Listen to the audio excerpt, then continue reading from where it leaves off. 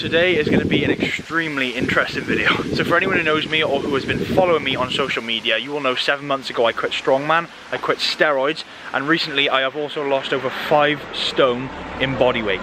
So a big, big difference.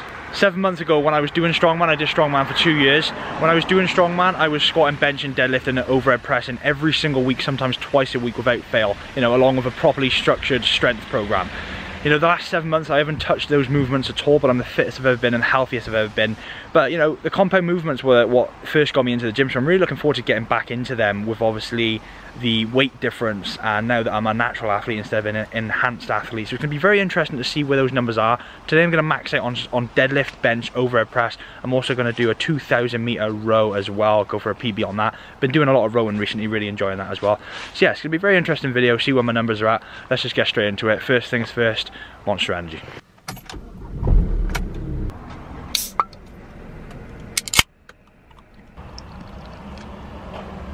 Ah, oh, that's good.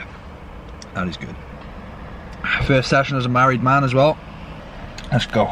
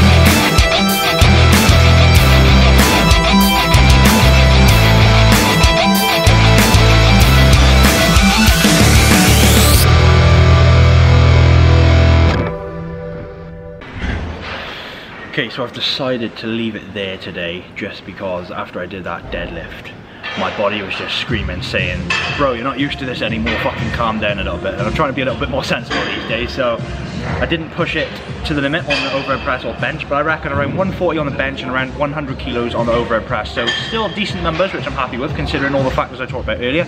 Um, with a deadlift, however, I'm not happy with that, you know.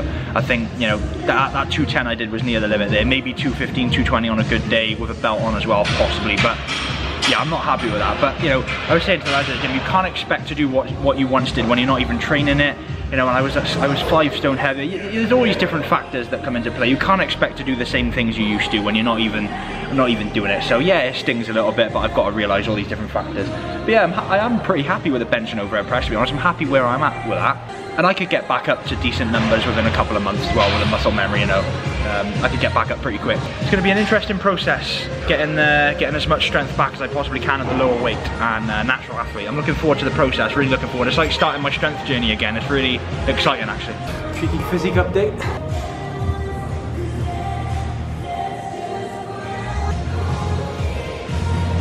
Not the best lighting, but anyway, 2000 meter row, gonna go for a PB. My PB is 7 minutes 31 seconds. I'm just getting into rowing, just getting into the fitness side of things, so I wanna get this under 6 minutes 30 seconds this year, which is a pretty, pretty respectable time. Anyway, let's go, PB time.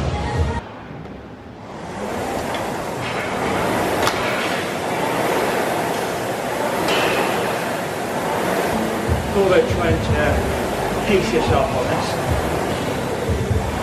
I always go fast for the first 100 metres, but, but keeping the pace and gradually going up after that. I'm very new to this, but I want to get good. For any professional rowers, if you have any advice, shoot it over.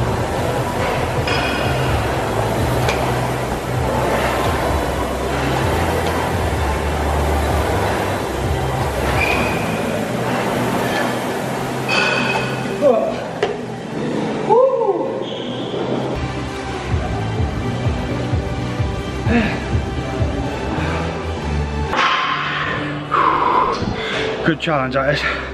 I love it. 7 minutes 32 is the time. 142 calories burned in that time. The fitness is definitely coming along. But I won that under 7 minutes in the next couple of months. Whew. Gotta keep working hard. I love this shit. I fucking love it. I recently did a 16 week transformation. I'll put a video up on that soon. But I pushed myself big time during that. And there's just something about pushing yourself to the limits.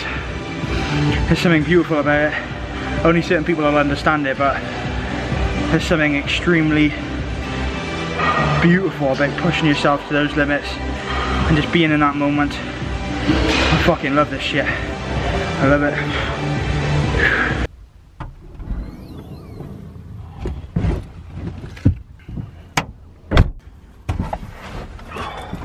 So we have got a chocolate protein shake and some chicken breast. That's about 45 grams of protein right here and that's nice and easy and quick. I always get the protein in straight after the gym. But anyway, that's gonna wrap up today's video. Hope you enjoyed. I got many plans for YouTube videos. I'm gonna, the next one's probably gonna be showing my 16 week transformation. So that's gonna be a good video. Keep an eye out for that. But that's it for this video. Hope you enjoyed. Please subscribe if you're new to the channel. Like the video. See you soon. Peace.